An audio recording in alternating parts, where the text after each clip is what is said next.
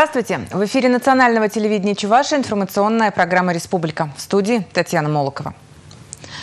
Сегодня в России и странах СНГ, бывших союзных республиках, отмечается День памяти и скорби. В этот день, 74 года назад, гитлеровская Германия вторглась на территорию Советского Союза. Начался самый кровопролитный этап Второй мировой войны – Великая Отечественная. Во всех уголках нашей Родины вспоминают тех, кто положил свои жизни на алтарь Победы. Первыми удар хорошо организованной и технически оснащенной фашистской армии приняли Белоруссия, Украина, Молдавия, Прибалтика. В первые две недели войны потери с нашей стороны превысили 750 тысяч человек. К концу 1941 года без вести пропали почти 3 миллиона человек из 5 миллионов, приходящихся на все годы войны. Впервые общие потери Советского Союза были подсчитаны в 1946 году – около 12 миллионов человек. Спустя 15 лет была названа другая цифра – почти 20 миллионов. Сегодня Сегодня большинство ученых-историков склоняются к тому, что в годы Великой Отечественной погибли на поле боя, умерли от ран, болезней, голода и холода, замучены в лагерях, уничтожены на оккупированных территориях почти 30 миллионов. Война шла долгих 4 года, 1418 дней, 34 тысячи часов. И каждую минуту Великой Отечественной погибали 12 советских граждан. И если по каждому погибшему в стране объявить минуту молчания, Россия затихнет на 32 года.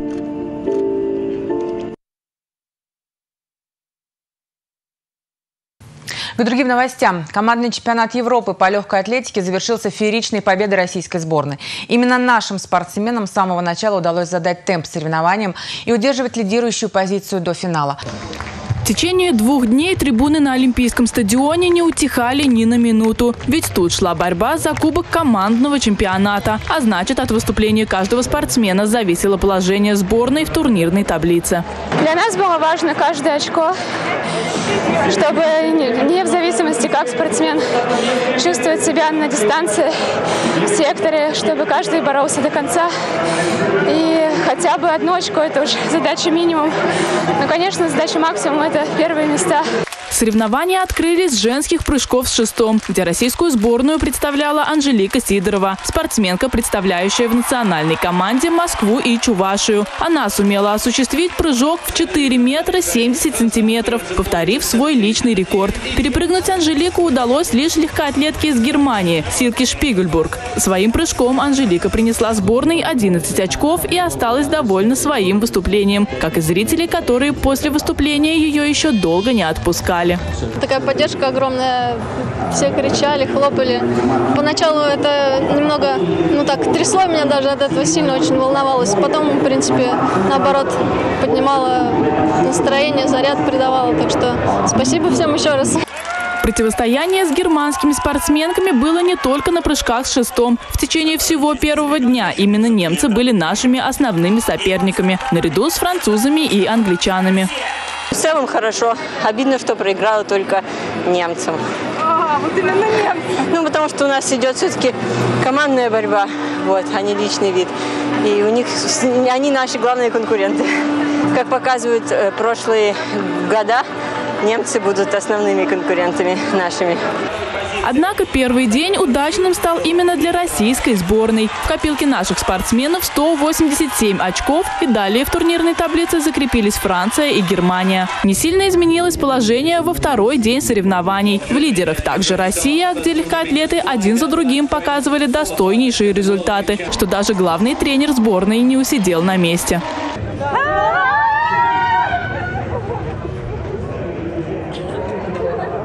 Конечно, ответственность чувствуется на каждом старте. старте. Но я был удивлен и очень мне было приятно, когда ко мне побежал главный тренер команды нашей страны. Обняв, понял меня и сказал, Костян, молодец. Сразу какая-то усталость вся прошла. Я, я рад, нет слов. Рады и все болельщики России. Ведь на счету у нашей сборной 368,5 очков и золотой кубок командного чемпионата Европы по легкой атлетике. Далее в турнирной таблице представители Германии и Франции. Екатерина Абрамова, Татьяна Молокова, Андрей Шоклев, Андрей Спиридонов, Республика. Сразу после завершения командного чемпионата Европы министр спорта России Виталий Мутков встретился со спортсменами-триумфаторами. Спортсменов, победителей командного чемпионата Европы журналисты встретили аплодисментами, а затем и сами спортсмены аплодировали министру спорта Виталию Мутко и главному тренеру команды Юрию Барзаковскому.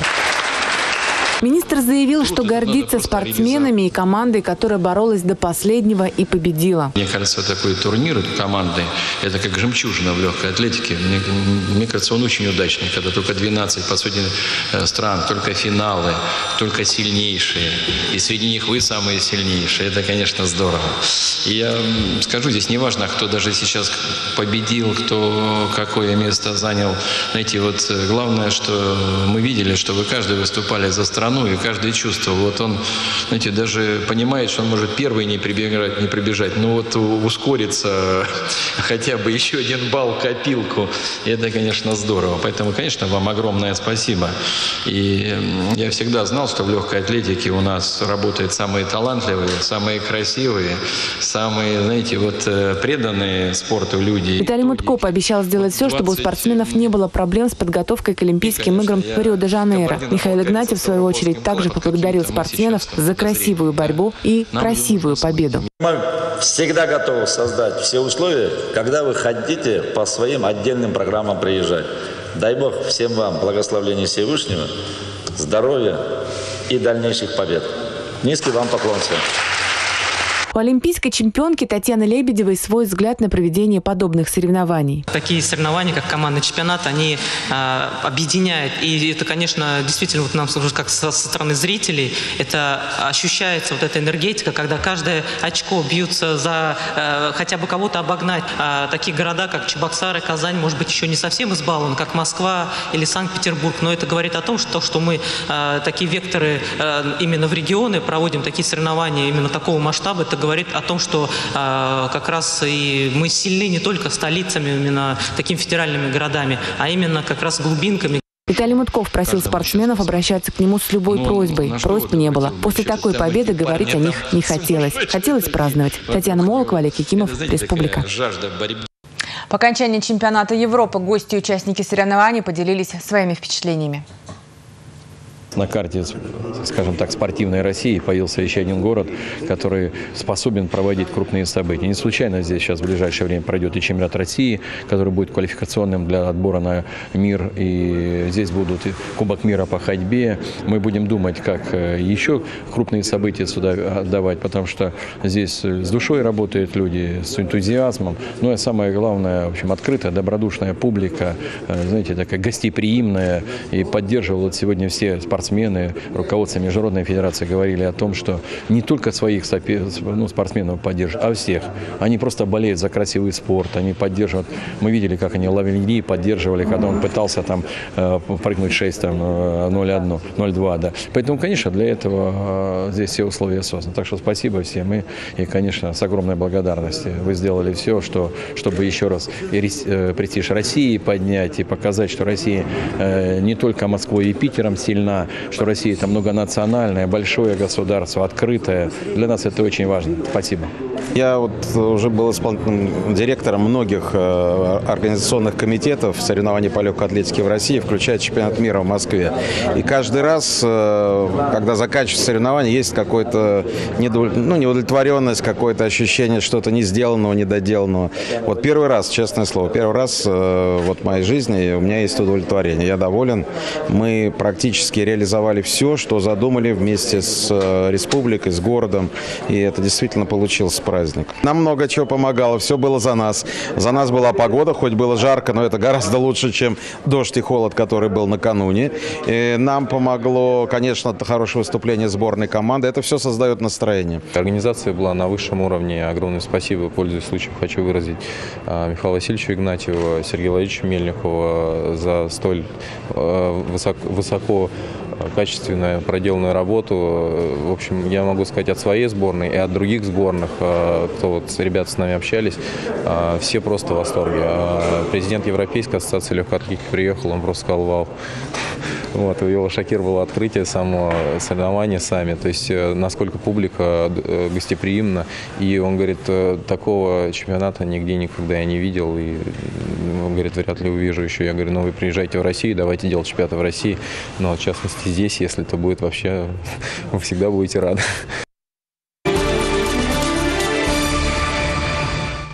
До встречи со спортсменами министр спорта Виталий Мутко побывал на спортивных объектах в строящемся центре маутинбайка и физкультурно-оздоровительном центре «Росинка». Сейчас на его базе тренируется сборная России по легкоатлетическому многоборью. Мы полюбили Чувашу, признаются спортсмены. На протяжении семи лет в столице республики проходит летний чемпионат страны и первенство по многоборью. Часто сюда ребята приезжают не только на летние, но и на зимние сборы. С 8-10 прошел чемпионат страны и первенство по многоборью. Люди отобрались э, на все соревнования по всем возрастным группам.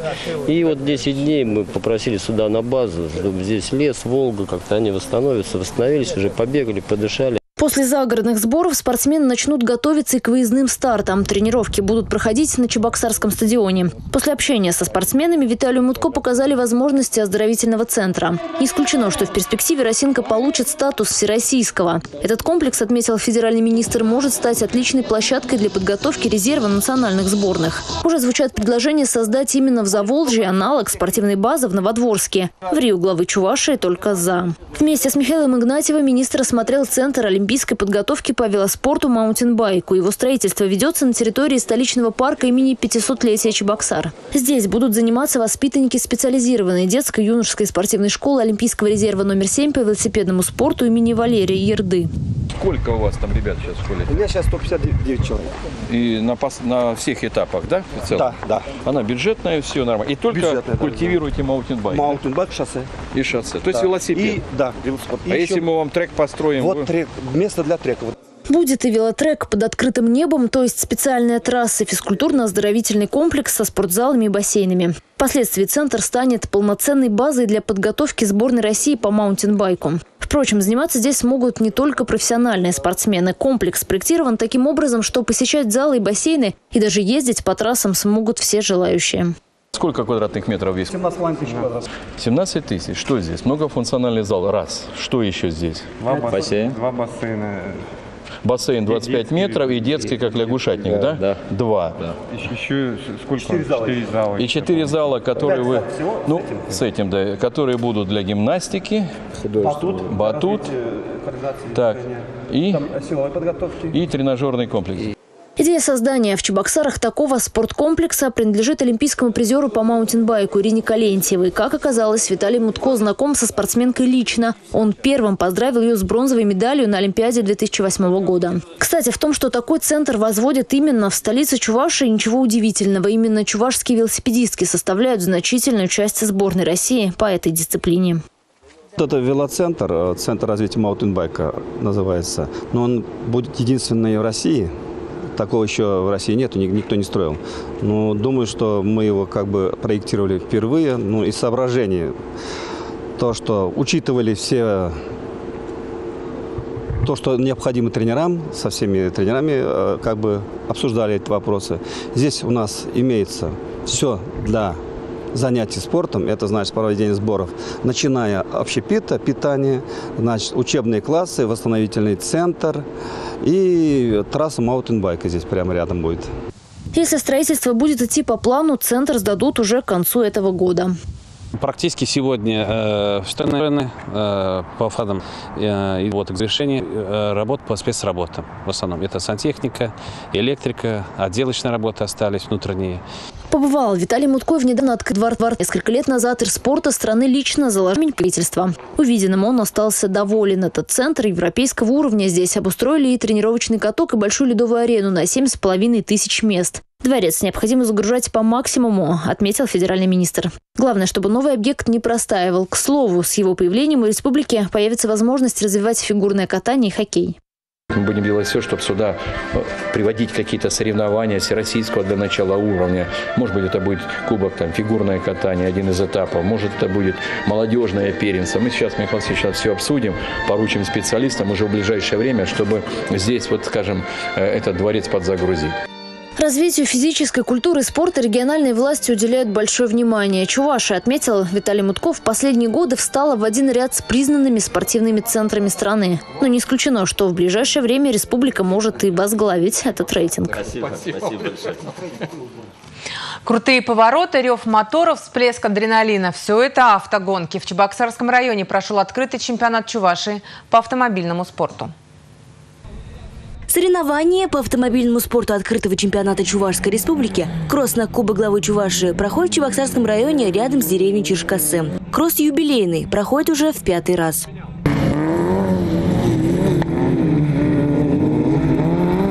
От старта до финиша 1 километр 200 метров. Секунды отделяют участников от заветной победы. Напутствовал спортсменов временно исполняющий обязанности главы Чувашской республики Михаил Игнатьев. Свободный заезд был самым зрелищным в зачетных классах автомобилей.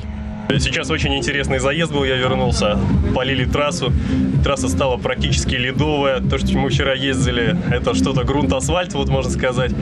Но сегодня было очень скользко, вот этот заезд, ну, просто так, эмоции зашкаливают действительно, потому что удержать автомобиль чрезвычайно сложно. Вот, сложные повороты, где-то полили сильнее, где-то меньше, поэтому ну, было непросто. Соперники сильные ребята тоже, ну, посмотрим на результат.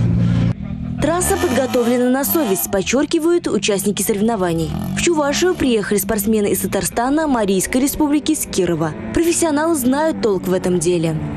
Трассу все сами сделали, готовили днями ночами. В общем, помогла, конечно, дождь. Есть будущее соревнования автоспорта, значит, это будет. Э, так как глава поддерживает автоспорт, спортсмен сам и нам самое главное не подвести, стараться держать в таком же тонусе.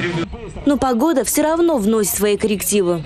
Температура все-таки высокая, и, соответственно, двигатели э, испытывают определенную нагрузку. А в остальном все замечательно, организация супер, выброс адреналина, а, положительные эмоции, естественно, новые, новые друзья, знакомые. Но, а, знаете, у нас... Ну и, соответственно, совершенствование навыков. Это в первую очередь, наверное, даже, да. Соответственно, а, гоняешь здесь, весь выплескиваешь адреналин здесь, а на трассе уже спокойно, культурно. Все замечательно.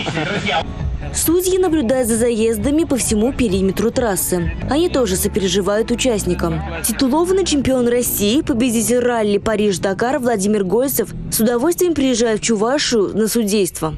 Секрет победы, вот надо научиться управлять, во-первых, своими эмоциями, ну и владеть некоторыми приемами управления автомобилем. Ну и не опаздывать, как на поезд всегда, знаете, надо все делать вовремя. И правильное действие, вот управление автомобилем. Организаторы считают, что в перспективе Чешкосинская трасса вполне сможет принимать и соревнования Кубка России по автомобильному спорту. Регина Кубайкина, Дмитрий Ковалев.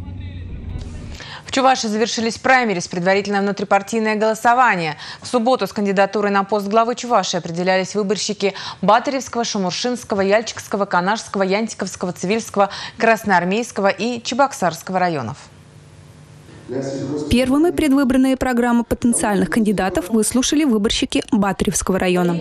Все те программы, которые инициировала партия «Единая Россия», они эффективно реализовывались реализовываются и будут реализовываться. Какие они? Это программа политической партии «Российское село», детские сады детям, объекты спорта любителям спорта, как и млад, так и. Дальше э, новые дороги городам России. На уровне правительства, начиная с 2016 года, э, начнет работу программа уже строительства новых общеобразовательных школ.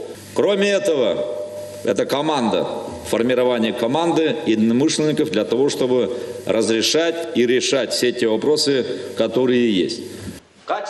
Михаил Игнатьев также подчеркнул, что главной задачей правительства остается повышение качества жизни населения, в том числе сохранение государственной поддержки особо нуждающимся.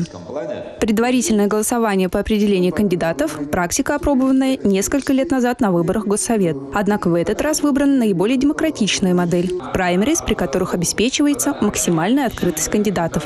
Процедура тайного голосования проходит э, абсолютно честно, прозрачно. Такая процедура, она больше ни одной партии не поддерживается.